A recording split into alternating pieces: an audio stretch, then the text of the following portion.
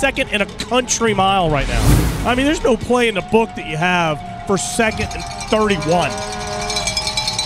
I mean, it's it's a mile. It is. Second and very long. All the way back at their own 46. Reitzel throws it up, looking for Chuck Davis. It's caught! It is caught, and it's going to be third and one. What a catch by Chuck Davis on the far sideline. Well, I'll tell you what, Stone Bridge looked like they had great defense on it, and it was just thrown better than the defense. Wells went up to try to knock it down. It was over his head. I'm telling you what, right now, folks, that play was redunculous.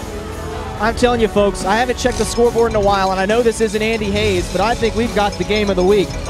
This is coming down to the wire. Woo! 159 to go. It's going to be third and one for Broad Run down at the 23 yard line.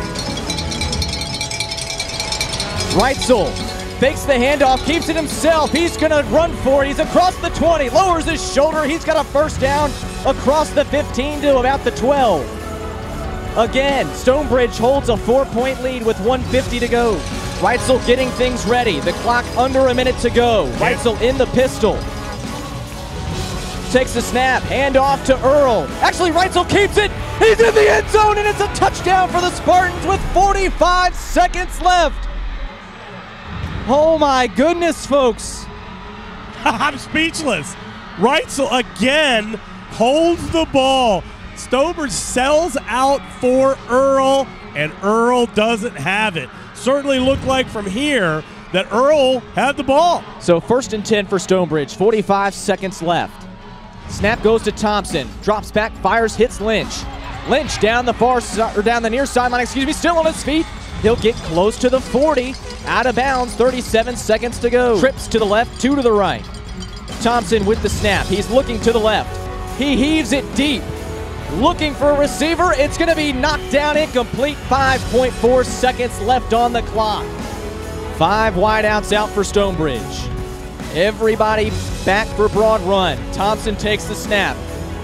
He's going to go over the middle. Pass is broken up and is incomplete. The broad run Spartans have knocked off the Stone Bridge Bulldogs here at Stone Bridge High School, and the Spartans will advance to the region semifinals. Well, I will tell you what, folks. What a great game. What a great game. So down goes Stone Bridge. Great game by, Briar, by Broad Run, by the way. Great game. And the Broad Run Spartans, as you said, win this one. It was capped off by Brady Reitzel on the QB keeper on the read option with 45 seconds to go to give Broad Run the lead that they would not relinquish